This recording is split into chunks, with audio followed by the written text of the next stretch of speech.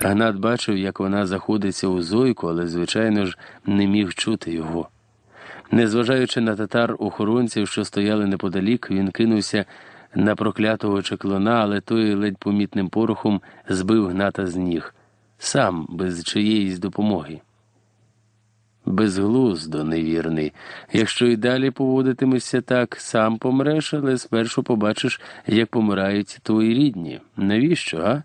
Ти ж навіть не вислухав, чого я від тебе хочу, а мені не потрібні ані голови твоїх друзів, ані ваші бунчуки.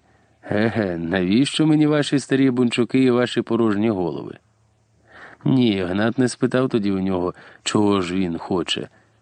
Словами не спитав, але у погляді. Так, у погляді, певно, щось таке відбилося, і вони обидва, старий Гнат, знали це. Як ти сказав, його звали? перепитав старий. Ну, того, який почав тебе виводити назад зі шляху, того, який заприсягся другому у плащі, що виконує будь-яке його побажання. Гнат подивився на відрубані дитячі пальці.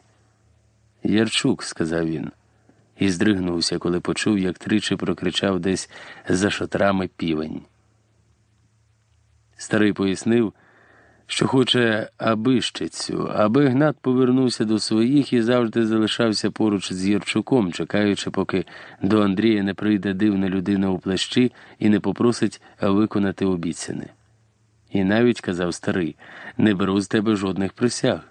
Навряд чи ти візьмешся розповідати комусь, що зламався. У вас це вважається ганебним, утім, цілком справедливо. Ну і до того ж ти розумієш, що я отут, у цьому таки шатрі, дуже уважно стежитиму за тобою і можу дістати тебе чи твоїх матір і сестру завжди і всюди. Зараз ти віриш мені всупереч усьому, бо зараз твій дух вільніший, ніж колись, і сприймає світ таким, який він є. А в цьому світі невірний є місце, малесеньке таке, нічим не видатне місце для старого дурня з його казаном. Згадуй іноді про мене, особливо коли твій розум почне впевнювати тебе, що я лише старий, е, як це там у вас кажуть, шарлатан, так? Ну от, а якщо ти мені знадобишся, я покличу твою лівицю і намагайся відшукати мене тоді якомога швидше і він відпустив гната на всі чотири боки, а насправді один єдиний туди, де був Андрій. Але Гнат, звичайно ж, поїхав у рідне село забрати маму з Галою і. Ні, до хати він дістався без пригод, але тільки но увійшов, тільки но відкрив рота, аби наказати їм збиратися, як мати впала на підлогу і застогнала від болю. Він сказав, що проїздив неподалік і на хвильку зазирнув, після чого, дочекавшись, поки матері трохи полегшало, повернувся на Січ. Потім поривався відвести їх ще кілька разів, чи через підставних осіб, чи сам, але тихцем, аби ніхто не міг передбачити. Тих, кого він відправляв, ніхто більше не бачив, а його самого після чергової спроби викликав до себе старий. Лівиця несподівано занила так, що Гнат скакав на південь, мало не втрачаючи свідомості від болю. Ти цілуєшся з коброю, сказав йому тоді старий, даремно. Рано чи пізно кобра кусає. Навіщо тобі хвилюватися, Кисиме? Гнат не зрозумів і перепитав, що він має на увазі. Кисим, відповів старий, по нашому смерть. Я зватиму тебе так, тому що Гнат, ну що воно таке Гнат? Це ім'я мені нічого не говорить, та й немає в тобі вогню, а ось смерті більш ніж досить, тож будеш кисимом. І на от іще це. Гнат здивувався, навіщо йому маска, тим більше яка зображує татарина. Потім зрозумієш, відказав старий. А про матір свою і про сестру не турбуйся, вони під моїм захистом, а це означає, що на село їхнє ніколи не нападуть. Тож не переймайся і пам'ятай, ти мусиш невідлучно.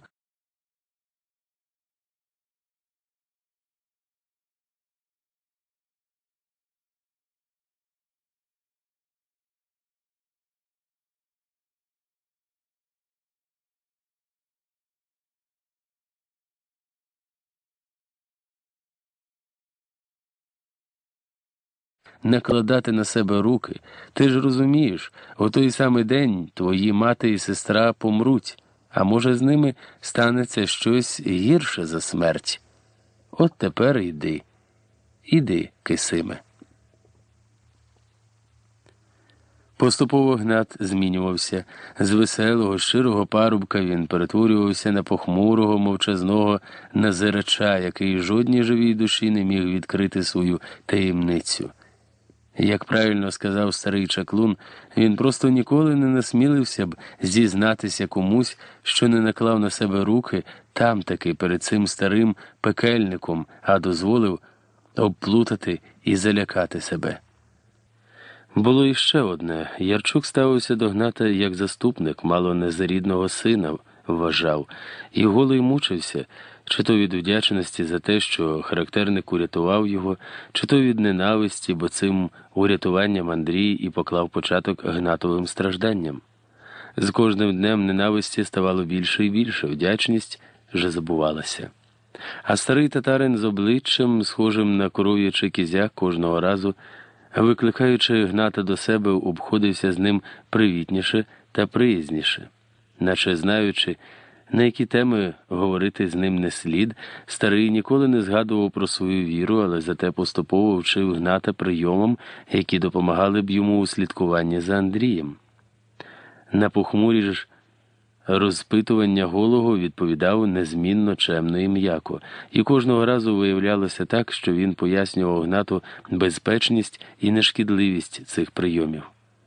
Вся справа в тому, казав старий, як і для чого ти їх застосовуєш. Діяння бувають поганими чи гарними. Що правда, те правда, але вони кисиме не ці погані та гарні зовні можуть скидатися одне на одного. Важливо те, до чого вони призводять. От ти слідкуєш за Єрчуком і чекаєш, доки до нього заявиться людина у плащі, і ти вважаєш Кисиме, що коїш зле. Але пригадай, що тим таки ти рятуєш свою сестру і матір від смерті. Хіба це не добрий вчинок, га? Гаразд, скажеш ти, але тоді я вчиняю погано, коли змушую тебе слідкувати за Єрчуком. Ну, не скажеш, так подумаєш, га? Але ти не знаєш, навіщо я це роблю кисиме. Ні, не зараз. Зараз я тобі не розповім. А відлякати пташку щастя легко, тільки покличе її на ім'я, потім колись. П'ять років після Гнат Кисим цілком звик до свого нового життя. Серед козаків він, як і раніше, залишався козаком, серед татар таємничим кисимом, учнем старого чаклуна. Виявилося, це дуже просто мати дві долі відразу.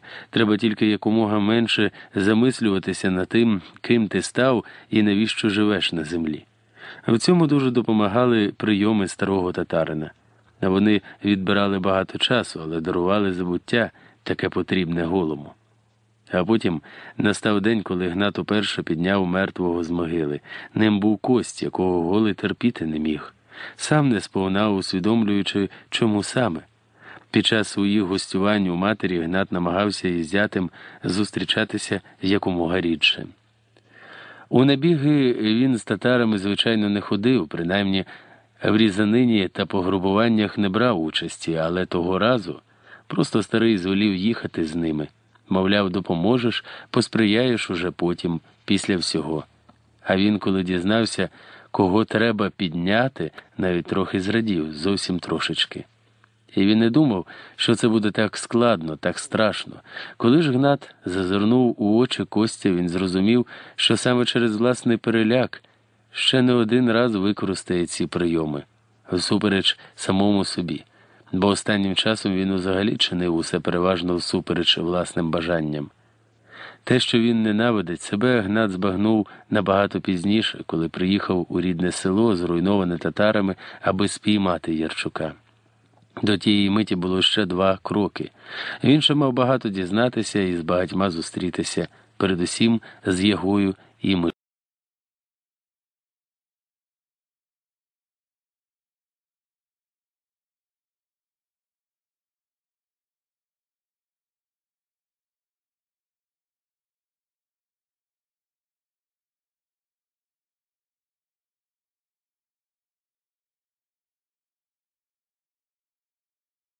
На раба яги, а та за силою набагато перевищувала чаклуна. Але, дізнавшись про те, чому татарин залишив гната живим, яга нічого змінювати у долі голого не схотіла. Просто дала зрозуміти, що при потребі ще нагадає про себе, і краще б гнатові тоді зробити так, як вона накаже, а поки що. А поки що він і далі жив подвійним життям, Кисимовим і Гнатовим, поступово все більше і більше дізнаючись про природу чаклунського мистецтва. Згодом навіть те, чому та яга і старий татарин чекають на появу людини у плещі, йому стало зрозуміло. Того дня Гнат вирішив ризикнути і розпочати власну гру в обхід задумам пані хазяйки і свого вчителя. То виходить, сказав Андрій, і тобі закортіло досхочу наїстися влади. Вони досі кружляли по галявині, тримаючи шаблі на поготові, але поки ще тільки розмовляли. Мені не потрібна влада, хитнув головою Гнат, і гроші мені не потрібні. Я мертвий, ярчучий, як і сим, з усіх, хто ганявся за тобою, хто вичікував у тінях, поки тобі дадуть скриньку, я один не хотів для себе нічого. Я просто сподівався врятувати своїх рідних, матір і Галю від смерті і з під влади старого, якби ти знав його, як знав його я. Та вже докладу зусиль, аби познайомитися, похмуро процідив Андрій. Не вийде. Я зарубав його к бісовій матері, зарубав і втік від татар. Ягута знищив, а миша лише допомагала їй за свій інтерес. Скринька їй не була потрібна, тож тепер їм, моїм господарям, нічим погрожувати мені. Я знову вільний. Мама з Галею мертві. Тоді навіщо ти гнався за мною? Не лукав, Ярчуче, ти ж знаєш, що скринька чарівна, в ній можна виростити все, що завгодно, навіть людину, навіть того, хто вже колись помер, навіть того, хто не схотів би вживати з власної волі. Ти хоч знаєш, як мучилася Галя з Костем, коли ти підняв його? Чи ти хочеш, аби твоя мати дізналася, що через зрадництво її сина, тільки через нього її село татари обходили стороною?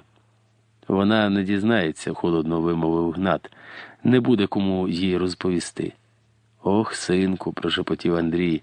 Бачив я у своєму житті різне, бачив чортів, відьом, двоєдусців бачив, а ти бездушець, от ти хто, синку. Останнє зачепило гната найбільше. Цідячи крізь зуби лайку, він кинувся на Андрія, і тепер на галявині розмовляли тільки шаблі, не люди. Незабаром Голи помітив, що у противника поранене плече, і навмисно намагався бити так, аби ранити саме його, і це Гнатові вдавалося. Тож дуже скоро Андрій почав потроху здавати позиції. Він втомився, був вимотаний двобоєм, а головне тим, про що дізнався. Врятувала Ярчука випадковість. Бачачи, що довго не протримається, він кинувся в атаку, і Гнат, змушений відступати, перечепився об скриньку, яка лежала на краю галявини. Підвестися голий уже не встиг. Андрій витер шаблю і з відразою наступив на маску кисима, вминаючи її у землю, наче отруйного жука. А потім опустився на коліна і ліг поруч з Гнатом, кладучи одну руку йому на лоба, а другу на груди. Тут, як і раніше, падав сніг, чорний сніг, і небо світилося фіолетовим, і зорі на ньому проступали хворобливою висипкою. Вони стояли на господньому шляху той, кому йти, і той, кому залишатися. Навіщо? самими губами спитав Гнат. Я ж. Аби дійшов, похмуро відповів Андрій. А то ж знову якусь халепу втрапиш, але ж там ти мене зарубав. То там, одрізав Андрій, а то тут. Нічого, тебе твій татарин не навчив, їй Богу. Вони обидва подивилися на гнатів живіт, звідки вибиралася важко і з явним зусиллям його кістлява. В якусь мить здалося, що вона зараз обірветься, розсиплеться на тисячі кісток.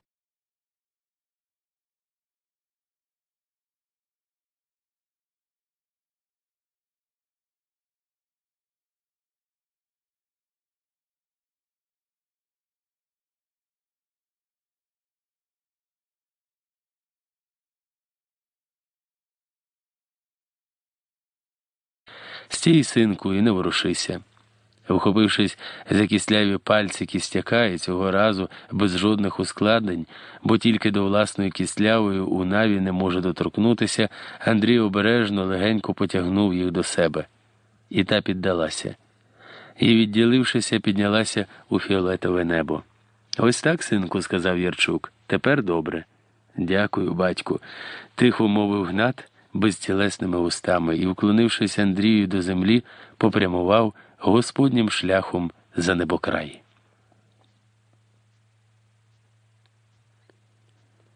Ох, очі у Миколки були що дві вишні перелякані. Ну, я вже думав, усе, кінець. Андрій згадав про те, що проступило в люстерці за мить до того, як його розбив пострілом гнат.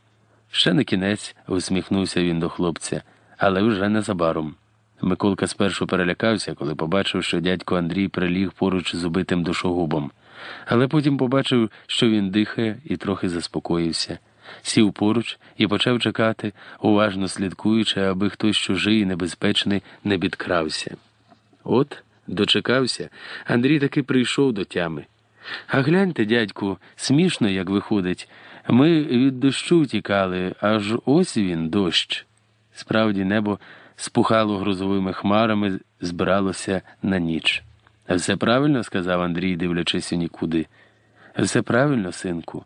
З чого починалося, тим і скінчиться. Без коня, щоправда, ми з тобою залишилися, утік кінь, але невелика біда. І так доберемося.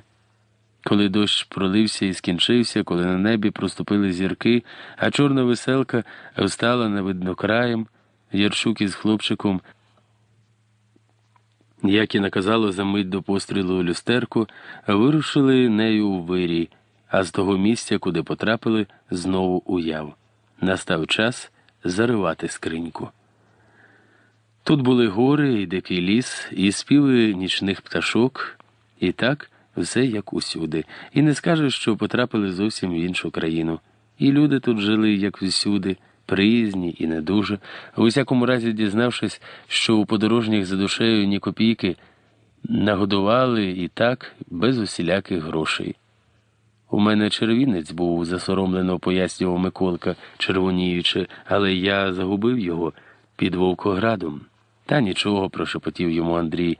Бачиш же, так обійшлося. Ви, якщо що, повертайтеся, заклично підморгувала повногруда вдовиця, а вислухавши чемну відмову, спитала А ви куди? У бік Дори? То там спитайте, якщо раптом що Стефана, це брат мій, скажете від Яринки з Ямни, нагодує, дасть попити, а він у мене такий, а взагалі залишалися б у мене на ночівлю. Що вам також треба поспішати? Андрій соте казав, що із задоволенням би, але їм треба вирушати, а потім неодмінно повернуться, якщо в дорі будуть, і до брата зазирнуть обов'язково. Ледь втекли. А де окопатимемо? вмить посерйознівши поцікавився Миколка. Де люстерко звеліло, там і будемо між дорою і ємною. Ух, важка яка. Помагай, синку, а то я один не дотягну. Після двобою з Гнатом Андрію було складно нести скриньку. Тепер її тягнув Миколка. А чим ритимемо? не вгавав хлопець. Отут ти мене правду сказати збентежив, однак, здається, мені місце саме знайдеться, і лопата, якщо знадобиться саме лопата. Лопата якраз не знадобилася. Дуже швидко вони знайшли ідеально придатне для їхньої мети місце пагорб, а на ньому вивернутий з корінням явір, причому вивернутий зовсім недавно. Зранку в горах пройшла гроза. Бачиш, нічого не доведеться рити, а закопувати. Ну, це легше буде. Посадимо дерево та й притопчемо і по всьому. Вони працювали цілу ніч, зрештою Миколка стомився і заснув, і Андрій заходився влаштовувати скриньку сам один. Яму, що залишилися від коріння дерева, вони розширили, і тепер Андрій вирушив на пошуки потрібного каменя. Той знайшовся неподалік, і козак притягнув його до ями, після чого взявся за власне закляття скарбу. Скінчивши ритуал, він востаннє присів перед скринькою, яка пережила разом із ним усі злигодні мандрівки, торкнувся пальцями подряпаних боків, потьмянілих коштовностей і раптом зрозумів, що не відчуває до неї ні злості, ні роздратування, як взагалі можна злитися на річ, нехай не зовсім звичайну. Обхопивши двома руками, Андрій опустив скриньку в яму і закидав землею, після чого поклав зверху камінь за розмірами трохи більший за покришку скриньки. Потім знову заходився засипати яму землею і вже тільки після цього взявся за явір. Взагалі, в звичайній ситуації дерево навряд чи прижилося б після таких пошкоджень, але Андрій недаремно звався характерником. Уже він постарався на славу, тож майже не сумнівався і приживеться, і виросте великим та величним, не один ще рік зеленітиме тут. Шкода тільки, якщо власник скриньки вирішить її відкопати. Раптом Андрія охопило те саме відчуття, яке не так давно підстерегло його біля межигірського колодязя. Він наче звільнився від усіх пут, матеріальних і невидимих, які тільки взагалі існували на світі. Навколишнє засяяло свіжими фарбами, заблищало життям, яке струменіло у кожній травинці і у кожному листочку, у музикуванні цвіркунів і подиху дерев. Він і сам не помітив, як ноги пішли витинати своєї, але цього разу це не було танком викликом життю. Ні. Зараз це був скоріше танок молитва, танок подяка. Відтанцювавши, Нагуцикавшись від душі, Андрій зітхнув і примостився трохи далі від дерева, розпалив люльку і ось так сидів, дивлячись на зорі і без поспіху перебираючи свої думки. Чекав. Ніч сьогодні була особлива, і вона, ця ніч, ще не скінчилася. Красиво станцював, сказав гість, сідаючи поруч, і взагалі красиво. Красиво, буркнув Андрій, не дивлячись на нього, і навіщо тільки тобі все це знадобилося? Чув про рахманів, замість відповіді поцікавився гість. Взагалі, це в народі нас так звуть, якщо чесно, не те, аби зовсім неправильно, але краще звали б охоронителями. Світайло був одним із нас. Тебе думав після себе залишити, та не встиг. І що ж ви, рахмани, охороняєте?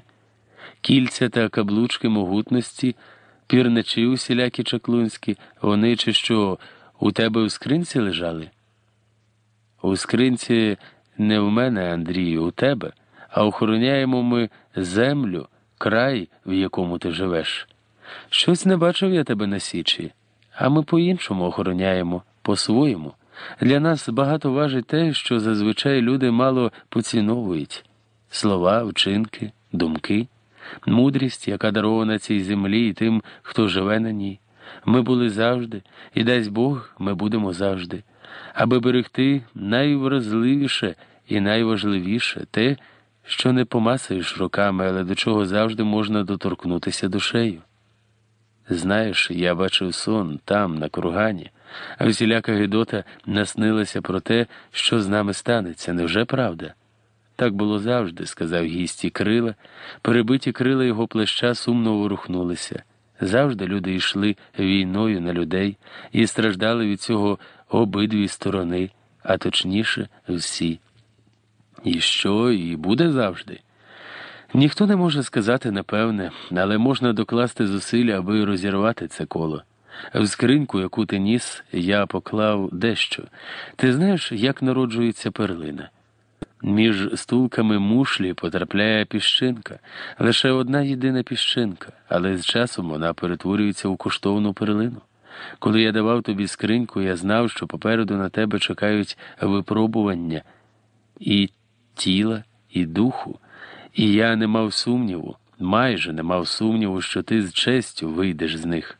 Після кожного разу скринька ставала трохи важчою, бо в ній зріла така от перлина, що живилася твоїми вчинками. Навіщо ж її зривати? Так треба.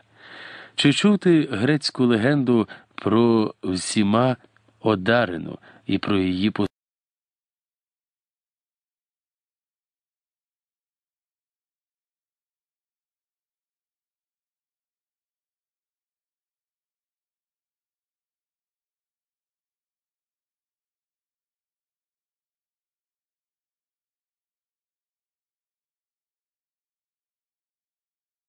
Ти був у Вовкограді і був на Господньому шляху. Хіба є різниця між людьми? Суттєва різниця. Пам'ятаєш, чому була зруйнована Вавилонська вежа? Від змішання мов? Від чого ж іще? Правильно. А змішання те виникло через пихатість людську, бо завжди між людьми існували розбіжності зовнішні, і одному подобалося одне, а іншому інше. Один говорив одною говіркою, інший іншою, але спершу всі тільки раділи та по-доброму дивувалися тим розбіжностям. Тому і спромоглися вони домовитися між собою, коли зайшла мова про те, аби збудувати вежу не для досягнення до небес, але в ім'я слави Господньої. І почали вони зводити її, та поступово кожен майстер настільки загордував своєю власною працею, що взялися вони вигадувати нові письмена, аби найхимерніше надписати цеглини, що виходили з їхніх рук. І стало важливішим для них, хто скільки цеглин виліпив, а не те, для чого зроблені вони. І тоді, не з волі Господа, але через власні дріб'язковість і марнославство, посварилися вони між собою і побилися. З того часу почалися війни на землі і сварки людські, і кожного разу у хід ідуть вогонь і меч, вогонь і меч. Але ж я вважав його за сина, після тривалої паузи з болем у серці прошепотів Андрій. Як же після цього? Не знаю, просто відповів гість. Відповідь на це запитання є в одному єдиному місці, у твоєму серці. Розвиднювалося. Десь у далекій церкві вдарили у дзвін, і голос його чистий, пронизливий, здавалося, заповнив світ від краю до краю. Мені час іти, сказав гість, підводячись. Ми побачимося ще коли-небудь? спитав Андрій і так і не глянувши на нього. Неодмінно, але навряд чи ти впізнаєш мене. А скарб? Що зі скарбом, коли його викупають? І що, тоді зійде на землю нашу благодать? Благодать, звичайно, не зійде, засміявся гість, але навіть коли він лишатиметься закопаний, скарб приноситиме людям добро. А чи відкопають? Рано чи пізно, звичайно, відкопають, а до того часу ходитимуть між людьми легенди про нього, хоча про те, як воно тут у нас насправді сталося. І він усміхнувся знову. Хто хто, а він знав, що, хоча Андрій не порушив своєї обітниці, у скриньку дехто зазирав, і знав, чому і де загубив свій червінець Миколка. Що ж, прощавай, Андрію. Доброї дороги, сказав йому Ярчук, і довго-довго проводжав гостя поглядом, навіть коли той, піднявшись схилом, уже щез за хмарами. А голос дзвона і далі лунав між небом і землею, і якоїсь миті Андрій перестав розуміти, що ж це калатає дзвін чи його власне серце, і чи є різниця між тим і тим. Бог відає. Легенда. Хоча, звичайно, як воно там насправді було, Бог відає. Ну, дід мій про ту легенду забув та згадав, коли зовсім погано з грошима стало, та й почав копати. Тільки там одна прикмета була місце те знайти можна було один раз на рік, коли якогось числа під повний місяць, точно опівночі, промінь місячний падав через щілину у стовбурі, і там, куди він указував, треба було копати. У перший же рік тільки почав він рити, побачив людину у плещі з глибоким каптуром. Підійшов незнайомець до нього, похитав головою та й пішов собі. Нічого тоді дід не викопав, гроші взяв у борг, якось перебідував тяжкі часи, але думка вирити скарб не полишала його. Наступного року не знову пішов він копати і знову побачив того незнайомця, який, нічого не сказавши, пішов, і знову дід нічого не викопав. І тільки на третій рік підійшов незнайомець до діда, поклав руку йому на груди, де серце, і сказав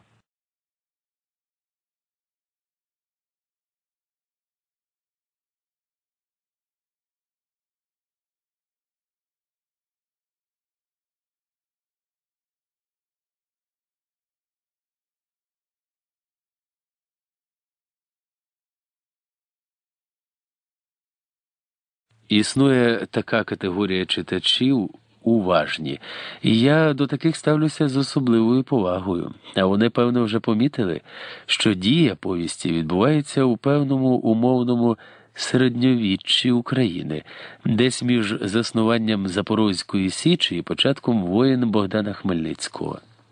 І тим більше читачі, звичайно, зрозуміли, що автор ні в якому разі не є татаро, полякою чи євреєфобом, а просто зображав реальні взаємовідносини тогочасного історичного періоду між українцями і представниками цих народів. Стосовно ж слова жид, то читачі, я впевнений, знають. У середньовічній Україні воно не вважалося образливим, на відміну від слова єврей. Вони ж, читачі, напевно, вирахували, що письменник, працюючи над повістю, явно користувався так званою спеціальною літературою, перш за все, записками Гійома де Боплана про Україну і нарисами Яворницького про запорозьких козаків, а також книжками зі слов'янської демонології і фольклористики, зокрема працями Зіленіна, Максимова, Потебні тощо. От за уважність і розуміння я й хочу подякувати.